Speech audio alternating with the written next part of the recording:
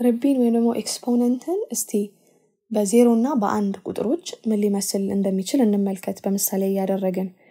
ስለዚህ ለምሳሌ ምን እንበል? አንድ ርቢ ስምንት እንበል። ስምንት ይሄ ማለት ከዚህ በፊት በተማርነው የርቢ ህግ መሰረት ተራቢውን ቁጥር አሁን በዚህ ምሳሌ መሰረት አንድን በአርቢው ቁጥር ልክ ማባዛት ማለት ነው። ስለዚህ ተራቢ ቁጥራችን አንድ ነው። ይህንን ስምንት ጊዜ ነው ማበዛው ማለት ነው። ከዚህ በፊት የተማርነው ትምህርት መሰረት እንደዚህ ያደረግኩኝ ነው ማበዛው። ስለዚህ ይሄ መጨረሻ ላይ አንድ ሲባዛ ስምንት ጊዜ አንድን ባበዛው የሚሰጠኝ ቁጥር ራሱ አንድ ነው። ከዚህ የምትመለከቱት ነገር ምንድን ነው? ተራቢ ቁጥር አንድ ሆኖ አርቢ ቁጥር ደግሞ ስምንት ወይም መቶ ሊሆን ይችላል፣ መቶ ሺህ ሊሆን ይችላል፣ አንድ ሚሊዮንም ሊሆን ይችላል። ምንም ቢሆን ቁጥሩ ተራቢ ቁጥር አንድ ከሆነ መልሳችን አንድ ነው መጨረሻ ላይ የሚሆነው ማለት ነው። በምንም ቁጥር ብናራባው አንድ ራሱን ነው የሚሰጠን አንድን መሆኑን ነው ይሄ ይሄ ምሳሌ የሚነግረን። እስቲ ደግሞ ሌላ ምሳሌ ወይም ደግሞ አንድ በዜሮ ሲራባ ምን ሊመስል እንደሚችል እንመልከት። ከዚህ በፊትም የተማራችሁትን ትምህርት ለክለሳም እንዲያገለግል ምን ብለናል? exponent ወይም ርቢ በሁለት መንገድ ማየት እንችላለን። የመጀመሪያው ቅድም እንዳደረግ ነው አንድ ርቢ ስምንትን የሰራንበት መንገድ ነው። ተራቢውን ቁጥር በአርቢ ቁጥር ልክ አባዝቶ ቁጥሩን ማግኘት በቀላሉ ተንትነን ማየት በሚያስችለን መልኩ ማለት ነው። ሌላኛው ደግሞ ምንድን ነው ከላይ ያደረግነውን ወይም ደግሞ ከተራቢውን ቁጥር በአርቢ ቁጥር አባዝተን ካወቅን በኋላ እሱን በአንድ ማባዛት የሚል ደግሞ አይተን ነበር ከዚህ በፊት። ስለዚህ ሁለት መንገዶች አሉ። ሁለተኛው መንገድ ወይም ደግሞ ይሄ በአንድ የማባዣው መንገድ የተሻለ እንደሆነ የሚያሳዩ ምሳሌዎችን በተለይ አርቢ ቁጥር ዜሮ በሚሆንበት ጊዜ አሻሚ የሆነ መልስ ውስጥ ስለሚከተን ይሄ በአንድ ማባዛት የሚባለው መንገድ ምን ያክል እንደሚጠቅም በእንደዚህ አይነት ምሳሌዎች አይተናል። ስለዚህ ምን እናደርጋለን? ልክ ከዚህ በፊት የተከተልነው አይነት መንገድ ለምሳሌ ላይ የመጀመሪያውን ምሳሌ ራሱ በዚህ መልኩ ሰርቸው ቢሆን ኖሮ ምንድን ነው የማደርገው? መጀመሪያ አንድ ንጽፍና ከዛ በኋላ ሲባዛ ብዬ ቀጣዮቹን ተራቢውን ቁጥር በአርቢ ቁጥር ልክ ነው ማበዛው ማለት ነው። አሁን ደግሞ እዚህ ጋር እዚህ እንምጣ አንድ ርቢ ዜሮ በሚባለው ምሳሌ ማለት ነው። ስለዚህ አሁን በዚህ በሁለተኛው ባልኩት የርቢ ህግ መሰረት ምን እናደርጋለን? አንድ እንጽፋለን። ከዛ ሲባዛ ብለን ተራቢውን ቁጥር በዚህ ምሳሌ መሰረት አንድ ነው ተራቢ ቁጥር በአርቢ ቁጥር ልክ ነው የምናበዛው። ያ ግን አሁን እዚህ ጋር ስንመለከት አርቢ ቁጥራችን ዜሮ ነው። ስለዚህ አንድን በዜሮ ልክ አበዛዋለሁ የምልበት ሁኔታ ስለማይኖር መልሱ አንድ ሆኖ ይቀራል ማለት ነው። ስለዚህ ማንኛውም ቁጥር አንድ ብቻ አይደለም፣ ሁለትም ሊሆን ይችላል፣ ምንም ሊሆን ይችላል። አርቢው ቁጥር ዜሮ ከሆነ መልሱ አንድ ይሆናል ማለት ነው። ይህንንም አስተውሉ። ልክ ከላይ የተናገርኩት ምሳሌ ማንኛውም ተራቢ ቁጥር ማንኛውም አንድ ቁጥር ተራቢ ቁጥር ምንም ቁጥር ቢሆን አንድ እንደሚመጣው ሁሉ ማንኛውም አርቢ ቁጥር ምንም አይነት ተራቢ ቁጥር ቢሆን አርቢው ቁጥር ዜሮ ከሆነ አንድ እንደሚመጣ እናስተውላለን እዚህ ጋር። ስለዚህ ይሄንን ተመልክተን ወዴት እንሄዳለን? ሌላ ምሳሌ አሁን ይሄንን ሊያጠናክርልን የሚችል ከዚህ በፊት ሰርተናል፣ ግን የበለጠ ደግሞ እንድናስታውሰው የሚያደርገን ነገር ሌላ ምሳሌ እንመልከት። ለምሳሌ ምን እንበል? ሁለት ርቢ አራት እንበል።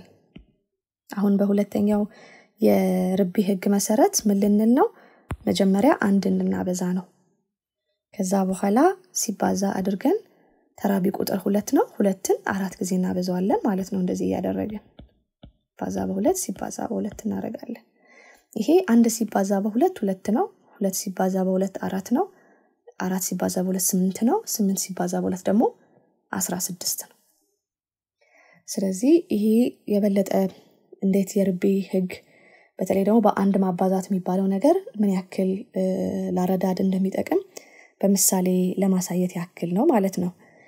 አሁን ደግሞ ርቢ ወይም ደግሞ exponent እስቲ negative ሲሆን ቁጥሮች ምን ሊሆን እንደሚችል እንመልከት። ለምሳሌ ምን እንበል እስቲ negative አንድን negative አንድን በዜሮ ላራባው። አሁን ያንኑ የእንትን ህግ ነው የምከተለው፣ የርቢ ህግ ነው የምከተለው። ስለዚህ ምን አደርጋለሁኝ? መጀመሪያ በአንድ አበዛለሁኝ። ማንኛውንም ነገር በአንድ ስለሆነ የምናበዛው በርቢ ህግ።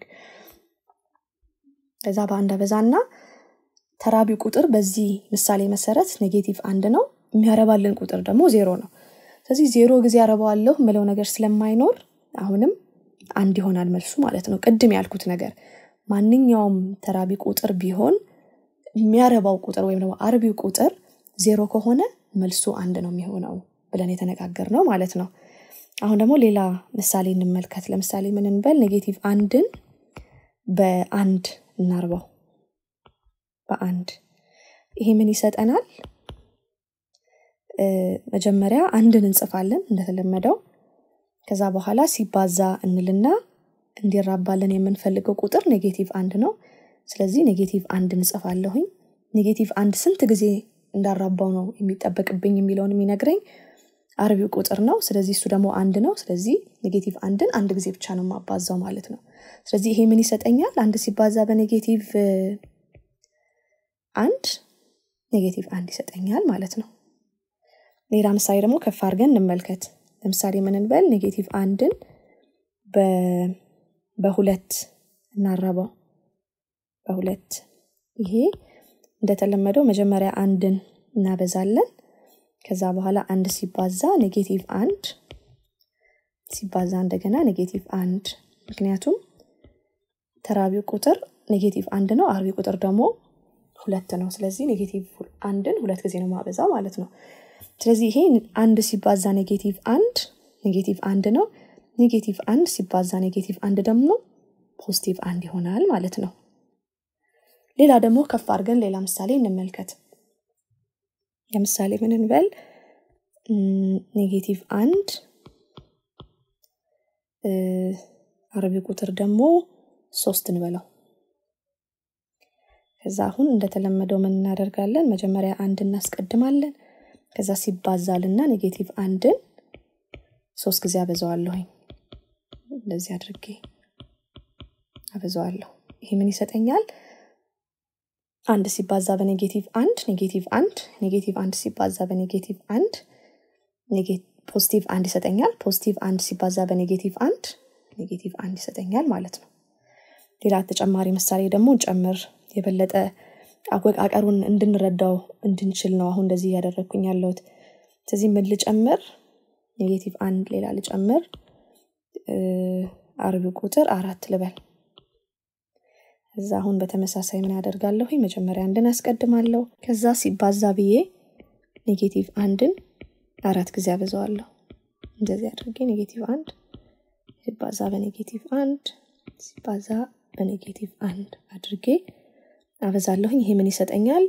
አንድ ሲባዛ በ negative አንድ negative አንድ negative አንድ ሲባዛ በ negative አንድ positive አንድ positive አንድ ሲባዛ በ negative አንድ negative አንድ negative አንድ ሲባዛ በ negative አንድ positive አንድ ይሰጠኛል ማለት ነው።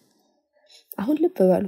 እንድታዩትም የፈለግኩትና ምሳሌውን የበለጠ ዘርዘር አድርጌ ቁጥሩን ከፍ እያደረግኩኝ የመጣሁትም እንድታስተውሉ የፈለግኩት አወቃቀር ስላለ ነው እዚህ ጋር። ተራቢው ቁጥር negative አንድ ነው። ሁሉም ጋር አልተቀየረም። የተቀየረው ነገር ቢኖር ምንድን ነው አርቢ ቁጥር ነው። እሱንም ከፍ እያደረግኩት ነው የሄድኩት ስለዚህ ምን ታያላችሁ እዚህ ጋር ለምሳሌ አርቢ ቁጥር አንድ ሁለት ሶስት አራት እያለ ይመጣል።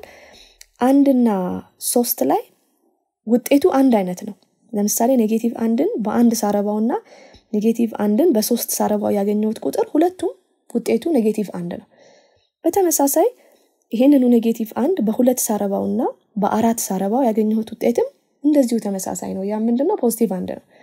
ስለዚህ ከዚህ የምንረዳው ምንድን ነው አርቢው ቁጥር ይሄ odd number ወይም ደግሞ ጎዶሎ ቁጥር የምንለው በሚሆንበት ጊዜ negative አንድ ተራቢ ቁጥር ከሆነ የሚሰጠን negative አንድ ነው ማለት ነው።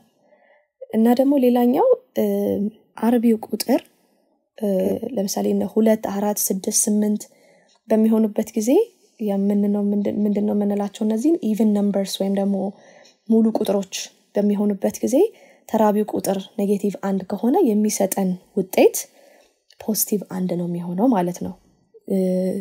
እዚህ ይሄንን ምሳሌ ስንሰራም እንድታስተውሉት የፈለግኩት ነገር ያ ነው። ስለዚህ በዚህ ምሳሌ መሰረት ምንድን ነው ይሄ የ odd number እንትን ነው። በ odd number ተራቢ የተሰራ ነው። odd number ነው ይሄ። odd number ነው። ወይም ደግሞ በአማርኛ ምን እንለዋለን? ይሄንን? ጎዶሎ ቁጥር እንለዋለን። ጎዶሎ ቁጥር እንለዋለን።